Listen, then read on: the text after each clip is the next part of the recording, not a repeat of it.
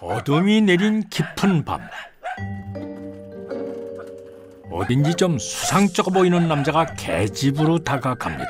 대체 뭘 하려는 걸까요? 뭐랍시오? 지금 개밥을 훔치는 겁니까? 잠시 후 남의 집 마당을 몰래 훔쳐보는 의문의 남자. 집안에 불이 꺼지자 잽싸게 마당으로 들어서더니 장독에 말려놓은 조기 두 마리를 훔쳐 달아나는데요. 남자의 기이한 행동은 여기서 끝이 아니었습니다. 이번엔 감자 소리를 하려나 본데요. 바로 그때 거기 누구야? 텃밭 주인이 나타나자 곧장 주랭랑을 치는 남자.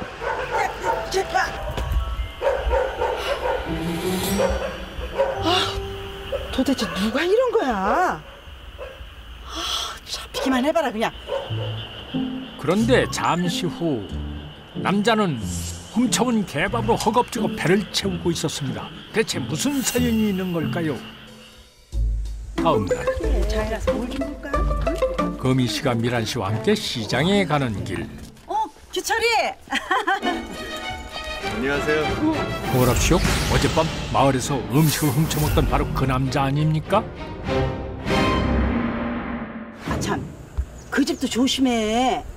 예? 아니, 뭐가요? 아 요즘 동네에 아 좀도둑이 생긴 것 같아. 글쎄 우리 집은 마당에 놀아놓은 굴비가 없어졌다니까요. 예? 굴비요? 네. 아, 참 별일이네요. 자네도 문 단속 잘해. 응? 예. 저희 그럼 들어가 볼게요. 응, 들어가. 들어가세요. 어르신 들어가세요. 이웃집 음식을 훔쳐먹고 시치미를 뚝대는 규철 씨. 고대 멀쩡한 남자가 왜 밤마다 점도둑질을 하며 살아가는 걸까요?